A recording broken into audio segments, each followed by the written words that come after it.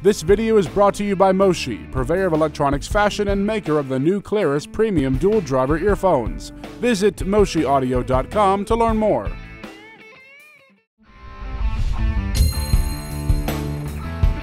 Hey, Andrew Gash here with Audioholics.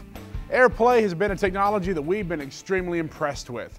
Now, if you're in the Apple ecosystem, it's bound to be a part of your life if you're buying current AV products and love the idea of streaming music wirelessly.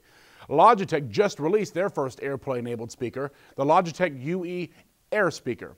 Now, the UE is a Logitech's abbreviation for a company they purchased back in 08 called Ultimate Ears.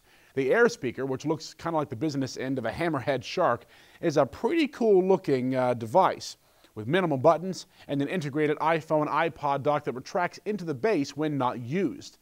The real attraction of this product is the AirPlay functionality and easy setup. You really just need an iPhone or an iPod which docks into the speaker, and then it immediately prompts you to download the free app from the App Store. And after you get the app, you dock your iPod or iPhone, and it configures the speaker for you automatically. That's that's right, automatically. That includes connecting to your Wi-Fi network, though you will need to, of course, enter your password if you have one, and you should have one. The app itself is nothing to write home about, but then again, that's because it does all of its magic behind the scenes. On the front end, it lets you configure bass and treble settings and also shows you the Wi Fi strength of the Air speaker. And that's about it. And to listen to music, you just open up iTunes or whatever music app you like and hit the AirPlay Connect button, which will allow you to select the Logitech speaker for the output of your iOS device's audio.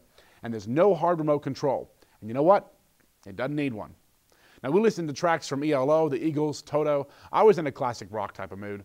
Now, the soundstage wasn't very wide, but we really liked how it made vocals sound, uh, particularly Don Henley, which has a lot of texture. Now, the tone of the Air speaker is really pleasing, and we never got tired of listening like we do sometimes with these wireless products. The mix was kind of thick with lots of mid bass, but we also loved that we could crank the volume all the way up and there wasn't a lot of uh, audible distortion.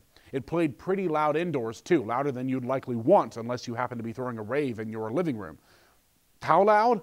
Uh, about 90 dB, C weighted at 8 feet, and um, that was with the uh, compressed music. Yeah, it's, it's plenty loud. So that's about it. Uh, on the top, you got simple controls mute, volume, and power. There's an Ethernet jack in the back if you want to hardwire it, and an eighth inch jack if you don't have an iOS device. But honestly, AirPlay is what really makes this speaker cool. You can even set up AirPlay with a computer if needed, though it's a lot more involved. Now we're going to drop the other shoe. The Air speaker costs $400. It's like the only negative thing we can say about it. It's an impressive wireless AirPlay enabled speaker. We just hope that you can afford it.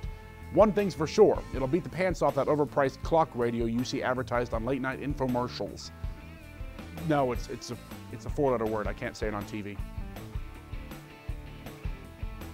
never mind. Hey, if you like AirPlay, then hit the like button on YouTube. Subscribe to our channel. If you don't like AirPlay, then just write a comment. Tell us why not. Also, like us on Facebook.com slash Audioholics and follow us, Twitter, Audioholics Live.